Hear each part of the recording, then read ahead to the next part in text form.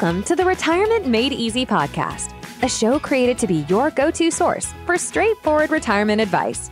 Best of all, it is presented in a language that you can understand. Are you ready for some straight talk on retirement planning without all the fluff? Well, you found the right podcast. Here's your host, certified financial planner, Greg Gonzalez. Let's jump into some listener questions. You can submit those at my website. Again, retirementmadeeasypodcast.com. At the bottom, it'll say Ask Greg a Question. The first question comes from Joe asking about the difference between an advisor who's a fiduciary, like I am, and then an advisor who is not a fiduciary and how they operate. So there's a lot of different examples, and I love examples, but a fiduciary, the definition is it's an advisor or someone that has to do legally, morally, ethically what's in your best interest and puts that ahead of all things, all other things. And an advisor who's not a fiduciary, well, they operate under another standard. We call it the suitability standard. So, what they recommend has to be suitable for you at that point in time. And think about the word suitable. What does that mean? Is it in your best interest or is it suitable? So here's an example that I love. Imagine you had high cholesterol and a doctor recommended Lipitor. Now, I don't know the price of Lipitor, but it is not a generic drug. It's a brand name drug, and it could be, let, let's say it's $300 a month. Now, if a fiduciary, if there was such thing as a fiduciary doctor, he or she might say, well, the generic does the exact same thing as Lipitor, and it's going to cost you about nine bucks a month. So I think the generic drug is in your best interest. Whereas Lipitor is actually suitable, but it's a lot more money per month. So I hope that example makes sense. Again, is it suitable or really in your best interest? Again, Joe, I am a fiduciary advisor. I wish all advisors were, but that's just the world we live in, I guess. But that was a great question, Joe. I appreciate you submitting that to the podcast. The next question is from Anne. Anne has a very quick question. It says, What should I expect to pay a CFP? The rep for my 403B, which is essentially it's a 401k for nonprofits like hospitals, school districts, that kind of thing. But Anne says the rep for my 403B now has his CFP credentials, which means certified financial planner. I do too, just like me, and has gone from charging me nothing for an annual meeting to a fee scale of $1,200 to $3,000. So Anne has a very good question here. She said this person went from charging me nothing to now all of a sudden, after he got his CFP credentials, now he's charging $1,200 to $3,000. So I want to first start off by saying that CFPs, a certified financial planner, we can charge whatever we would like. Now, that doesn't mean you have to pay it as a client of his. I would expect that he would have a good reason why he increased his rates from charging nothing to $1,200 to $3,000. And my next question would be what are you getting for that cost?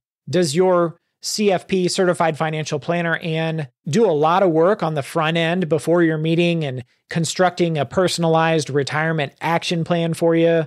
Giving you a tax analysis. So my question would be, what are you getting for that $1,200 to $3,000 to be able to say, okay, this is a good value for the money that I'm paying? He is, as the rep on the 403B, he's getting compensated through the 403B in some way, shape, or form, just like a rep on a 401k is getting paid through the 401k. So that's probably why he wasn't charging up until this point. I can give you a gauge, I guess. Some CFPs like myself charge between 100 to $200 an hour for the planning that we do. If someone hires us on a consulting basis, that's typically what we charge. Kind of like some law firms will charge you, I don't know, $200 an hour, $400 an hour for the work that they do. So it's very, very similar to that. But really, Anne, you've got to ask yourself, do I think I'm getting a good value for the, the money that I'm paying? Whether it's $1,200 or $3,000, if you're paying that much money for an hour meeting with somebody, I would hope that that person is doing a lot of planning for you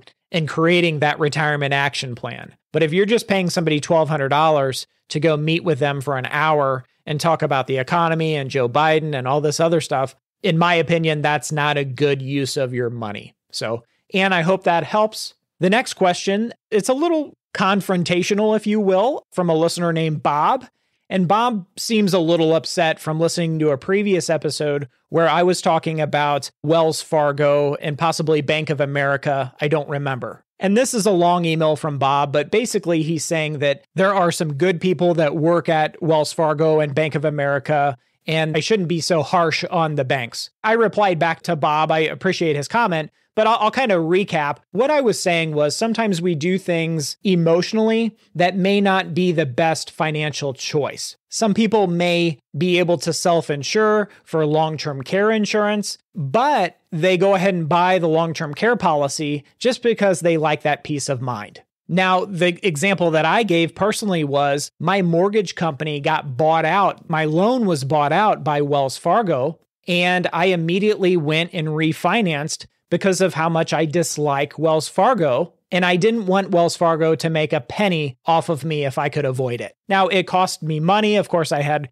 closing costs and refinance costs. So, financially speaking, this was not a very good decision on my part. But emotionally, it made me feel fantastic because I don't have to call myself a customer of Wells Fargo. Now, why Wells Fargo? Why do I not like Bank of America or Wells Fargo? Well, Google, you kind of do your own research. Wells Fargo and Bank of America both have unfair trade practices, not only to veterans, they were charging excess fees that were not disclosed to a bunch of veterans and VA loans and they settled for hundreds of millions of dollars. They were ripping off veterans in this country on VA loans, admitted it, and settled. And then for years, Bank of America and Wells Fargo were ripping minorities off by charging them higher interest rates than they would charge a Caucasian with the same financial situation. And with a last name of Gonzalez, and having many veterans in my family, I don't want to be a customer of Wells Fargo or Bank of America. I think they're despicable banks. But Bob, I appreciate your email. I'm not calling your kids ugly or anything like that. I think there are some terrific people that work for both banks. I'm not calling those people bad. I'm calling the bank's business practices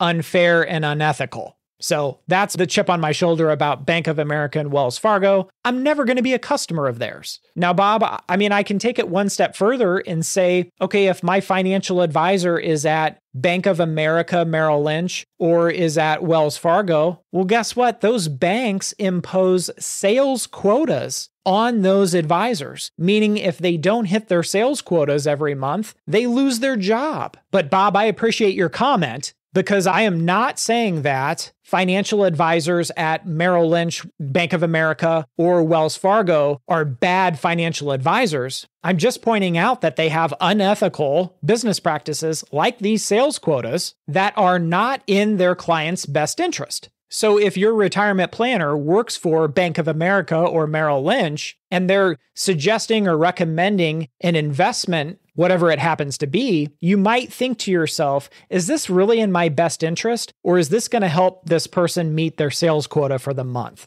Or at least that's what I would be thinking. But Bob, again, thank you for your question. Thanks for listening. It sounds like I ruffled some feathers, and that was not my intention. I don't think the people that work for Bank of America or Merrill Lynch are bad people because I know that they're probably the ones that are not making the rules that they have to follow. So I hope that clears things up, Bob. Thank you for your question. The next question came up in a conversation with a client that had rental properties, right? Residential rental properties and talking about the taxation of these. And for those that aren't familiar with how rental properties work, one of the advantages if you own a, a, rental property, let's just call it a two bedroom flat or something like that, that you rent out, this is residential here that I'm talking about. You can as the the owner of this rental property, you can depreciate the property over 27 and a half years. What do I mean by that? Well, it essentially reduces the amount of rent, rental income that's taxable because you're depreciating the property itself. Now, what happens when you go to sell that rental property? Guess what?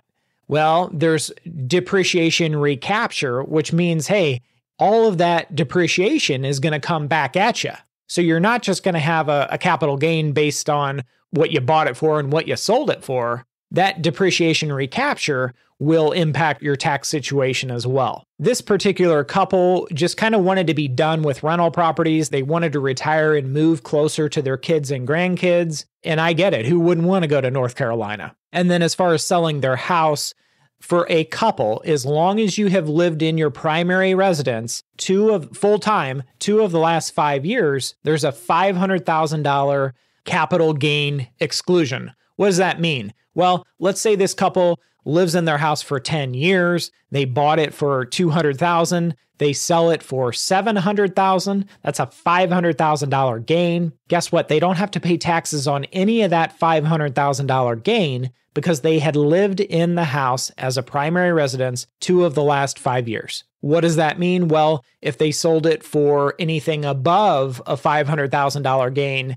yes, then the incremental amount over that $500,000 gain would be subject to capital gain taxes. Another question that was emailed in was where a guy was going to be retiring at the end of 2022. In his plan, he had a, a million dollar gain in his company stock. He had worked for the same company his entire career. And his plan was to have no taxable income in 2023. Therefore, he would be in the 0% tax bracket with no income. And his brother told him if he's in the 0, 10, or 12% tax bracket and you have any capital gain, well, you pay 0% taxes on that capital gain. So his entire million dollar capital gain of that stock would not be taxed at all. There would be zero capital gains on that. And I'm not going to argue with his brother on this, but unfortunately, that's not correct. A portion of that million dollar capital gain will be taxed. There will be a portion that's taxed at the 0% long term capital gain rate. But I mean, just think about that conceptually, if someone had a capital gain, long term capital gain of $5 million, and they had no other earned income, they're going to pay 0% taxes on that $5 million of gains. That's just not how our tax system works, unfortunately. So, what I would recommend that this listener do is contact your local CPA or, or tax advisor and ask them what of this entire million dollar gain of stock, how much can I sell to pay 0% long term capital gains, given the fact that I have no other earned income in 2023? And instead of selling the stock all at once, I would sell it in stages and bunches, maybe on an annual basis. So my long term capital gain was as low as possible. And this is another mistake that I see people make over and over again is they think in terms of all or nothing. They think I've got to sell my entire portion of my mutual fund or I have to sell all of my stock. You can always sell a portion of it now and then a portion of it later when it may make more sense. Maybe the stock has done really, really well and you want to kind of take some profits off the table and further diversify by selling a portion. That's okay. You can do that but you don't have to sell all of it if you don't want to. And like I said, it may even help you from a tax standpoint to only sell a portion at a time. Just something to consider. You know where to find me, retirementmadeeasypodcast.com at the bottom. You know, you can submit your questions if, if you have any follow up questions. And I did have two questions that were submitted through the website there. One was from Beth, and Beth was talking about her financial advisor and also her tax advisor, what I'm going to call a tax advisor. And her concern was, without reading word for word, her concern was that her tax advisor, her CPA, just did tax prep and did not do what, what she's calling tax planning.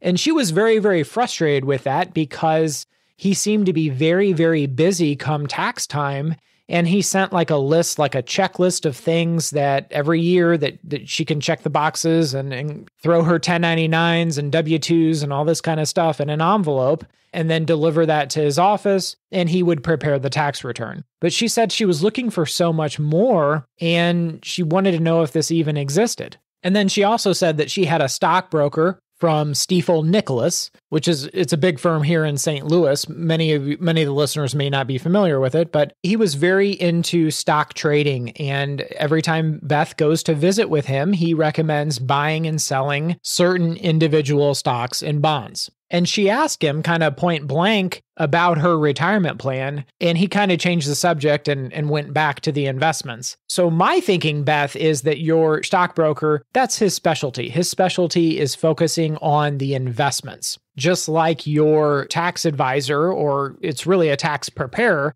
they are trying to prepare as many tax returns as they can and get you in and out kind of thing and they work on a volume business kind of like H&R Block or some of those companies. So to answer Beth's question, it's just you're working with the wrong providers. A stockbroker is not going to have a specialty in retirement planning. His specialty is in analyzing stocks and bonds. And then your tax preparer is just doing that, preparing taxes which is really taking the information from your 1099s and W 2s that you're providing and typing them into the software, the tax planning or the tax prep software.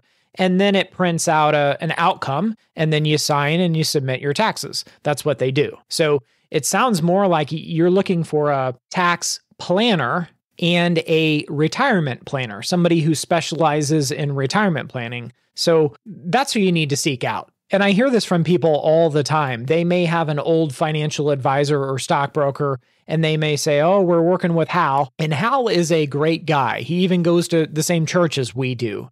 And we just hate to leave him, but he just doesn't provide the tax planning and retirement planning that we're looking for at this crucial moment in our lives. So, when you're hiring an advisor, whether it's a tax advisor, financial advisor, whoever it is, I've said this on multiple podcasts. Find someone that that specializes in what you're looking for help with. Maybe it's an, an attorney. Maybe you're looking for estate planning help. If that's the case, I would recommend seeking out an attorney who specializes in estate planning and makes that the sole focus of their business because there are attorneys out there that just focus on estate planning. There's other attorneys that just focus on personal injury. And if you're looking for a personal injury attorney, well, you're not going to call your estate planning attorney, and vice versa.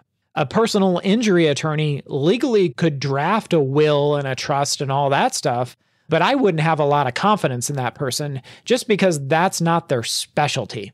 It's the same with a doctor. My doctor, my general practitioner, he always refers me out to these specialists if I ever need them whether it's a dermatologist or something like that, or if I'm getting x rays or an MRI, well, I went to a radiologist. So good question, Beth. I know I, I, elaborated on your, your question way, way too much, but hopefully you can find some specialists that can help you. And then the last question that was submitted from the website was from Tim.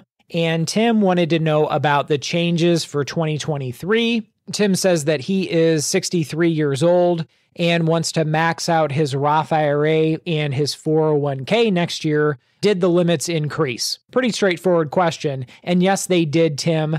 Roth IRAs went up to $7,500 for somebody over 50. You can contribute up to $7,500 for each spouse if you're married. And keep in mind, there are income limits to that. So be aware of those.